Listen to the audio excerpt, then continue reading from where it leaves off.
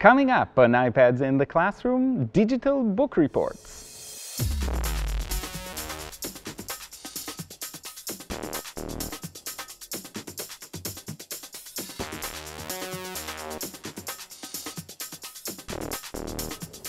My name is Ashley Roki. And I'm Guy Trainin. This is iPads in the Classroom from TechEdge. And today we're talking about digital book reports.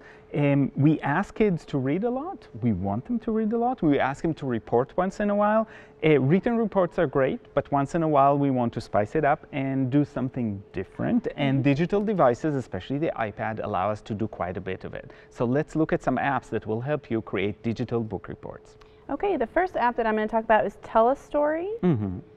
And this is basically where you have kids create their own movie. Mm-hmm. So you can see if you hold it, it puts your face in the different, um, several different categories here. Okay. So kids could have fun picking.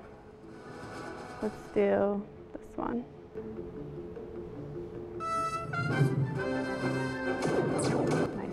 Sound effects. yeah, sound effects are important. It's time to choose your first scene. Okay, so you can select from multiple scenes. Multiple scenes. this one. And then this is where you pick your, your story, or mm -hmm. you mm-hmm. write your own. Yeah. So um, it gives you several options if you're just practicing or mm -hmm. having students practice with it. But if you click on the pencil down here, it lets you write your own cue cards. Okay. So let's do the three little pigs. All right. In space. In space. Yeah. Okay. So let's see. You're all mic'd up. Now choose your costume and tap okay. start when you're ready to film. Again, it gives you directions. Mm -hmm. Walks with you. The Record three. your show oh. in three, two, down. one, action. The Three Little Pigs. So we've got so, the first scene. The first scene. The Three Little Pigs. And then you can either redo it or mm -hmm. accept it. And then you get to the next scene. Next one. So very step by step, mm -hmm. but the students the cue cards are really nice because the students can write whatever they need to okay. And a way to address this is to use, for example, for narrative text, the five big ideas. So mm -hmm. what is mm-hmm. the setting? who are the characters? What is the plot? What is the conclusion? That kind of thing can be really yes. easily done mm -hmm. in something like TeleStory. Yeah, and I just think this is a really fun way for mm -hmm. students to do book reporting. And how do you share this then? So, so let's try to create something short, save it, and share it.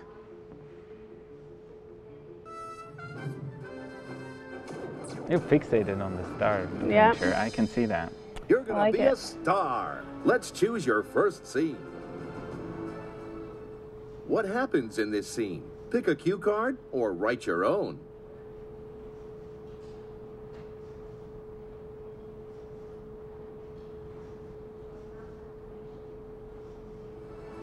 Places, everyone. Now choose your costume and tap start when you're Record ready Record your show in three, two, one, action. The Three Little Pigs. Okay, okay. so we've got our so first got our scene, scene, and we're the okay. Three Little Pigs. Okay. That was prime time.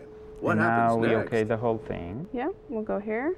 One last step. What's the name of your show? So, so it exports to the camera roll and then you can send it or you can upload it mm -hmm. to YouTube through the camera roll. So there are ways to share this beyond this app, but it's not really directly from the app, it looks like. Right.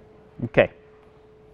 Yeah. So this one is called TeleStory, and it's a great way to kids to get kids to be creative. It structures them step by step, which is really nice. Mm -hmm. And we as teachers, especially early on, can actually dictate what these categories are. You've got to talk about the theme, you've got to talk about characters, you've got to talk about plot and resolution, those kind of things. It helps them think through it. It helps teach them the narrative structure and to tell a good story. So uh, what is the next app you're going to show us? The next app that I have is PicCollage. All right, and we've talked about PicCollage in the past, but I think that PicCollage is one of those apps that really you can use in multiple mm -hmm. ways, and this is one of them. Yeah, this is I didn't even think about, and I was like looking through my apps, and I was like, oh, I, you could definitely use this for a book report. So um, here's just an example of something I've done. This was in my social studies class. Um, so you can put text, you can put pictures. So that's how students could do a book report. Let's um, create one. All right. So you just tap anywhere to add a photo and see when you tap on the screen it gives you several Mm-hmm. options. So you can do photos, text, stickers, change the background.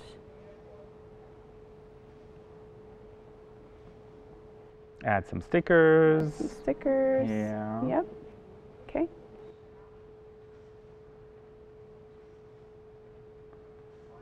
And let's do text. Some text. Mm-hmm. Okay, and then the text you see there's several different options Mm-hmm. for um, the font and Yeah. size and everything. So you So- can, from a design perspective, you could do quite a bit, which So- is both a blessing and a curse. Ye- Going back to the idea that sometimes we want things simple. So um, you want to make sure that uh, if kids do tend to get stuck on the details, you time or in some other way manage their choices so it doesn't become just this circular activity around just choosing the right font, but that they actually move forward. And you can bring in images, photos, images, and from YouTube.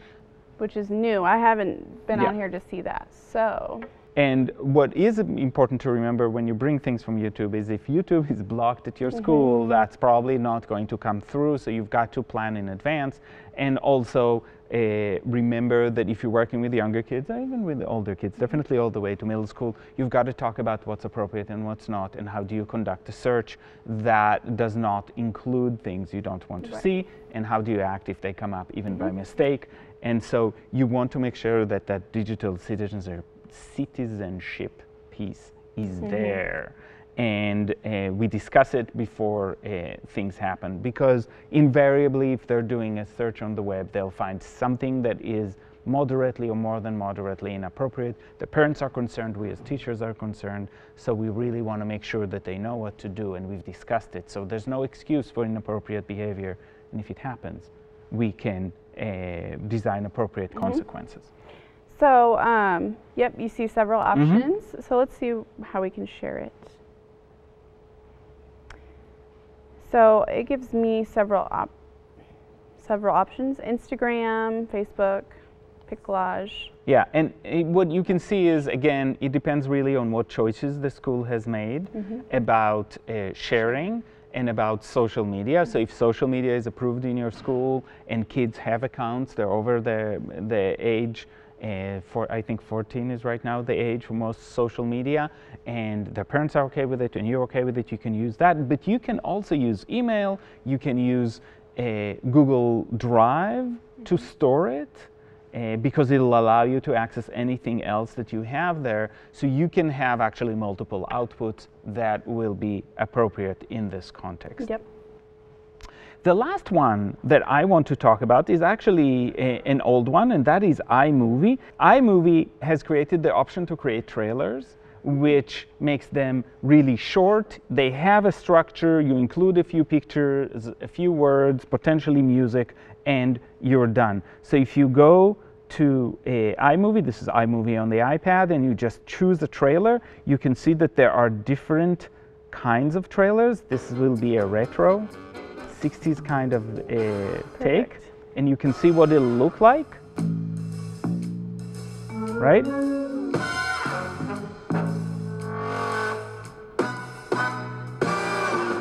And you can see how these structure, because they're aimed at movies, which are inherently narrative structures, you can easily find something that'll work really well for anybody.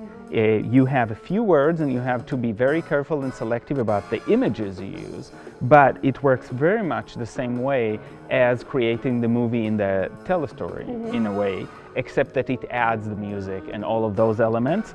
And again, uh, sharing because it's an iMovie will be through again saving it to the device and exporting it to uh, different sharing sites. So this is iMovie, And I suggest using the trailer feature because it bounds the activity. So Right. you, uh, because in iMovie, you can get crazy. It can take many, Yes. many hours to create in it. So what we're trying to do by working through the trailer is making sure that it's limited. So today we talked about a few apps that will help you create digital uh, book reports, and we'll see you next time on iPads in the Classroom.